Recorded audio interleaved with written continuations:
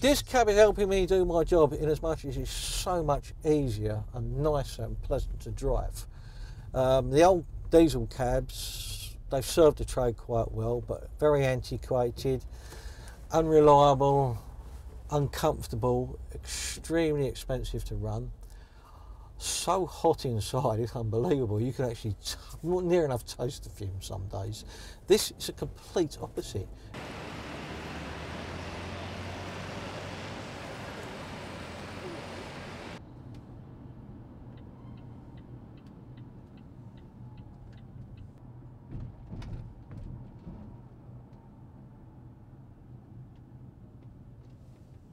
It's very, very hard now. You, you just cannot get, when you do find a charger, you can't get on them. There's taxis waiting, there's normal other uh, vehicles waiting.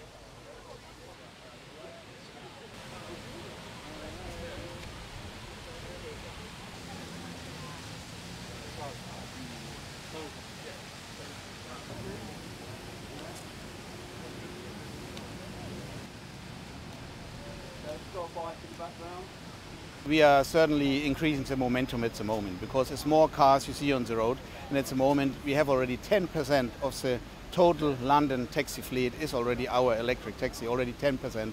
And as more cars we get on the road, as more drivers well, are excited and really heavily excited about our product, they talk about it in a positive way. We see more and more big car fleets, taxi fleets approaching us to order, take big orders, giving us big orders from our electric taxi. So actually what we see at the moment, we see an increased momentum and we believe sales will speed up quite uh, significantly very soon even.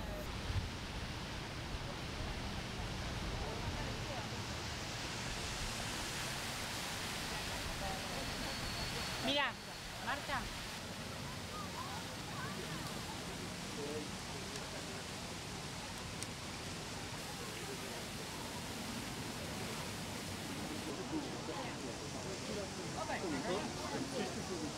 So taxi emissions contribute to about 30% of uh, NOx pollution in London, so very significant.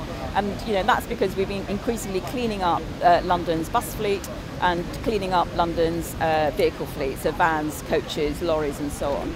So we have to tackle taxis as well as everything else.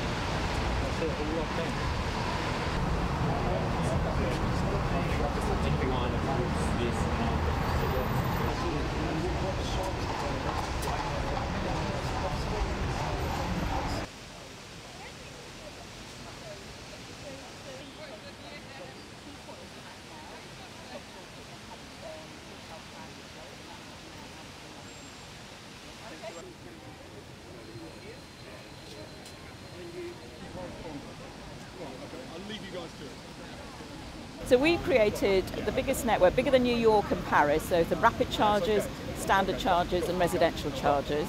So we have over 185 chargers, rapids on the, on the street now. Half of those, roughly half, are about dedicated to taxis alone, as well as uh, lamppost chargers, uh, over 1,000, 2,000 if you count the private sector ones as well. So there's a very big network, lots of capacity. We're working with the industry to make information available to them so they know whether there are free um, um, charge points. They can already do that. So yes, there may be an occasional peak point, but actually there's lots of capacity out there.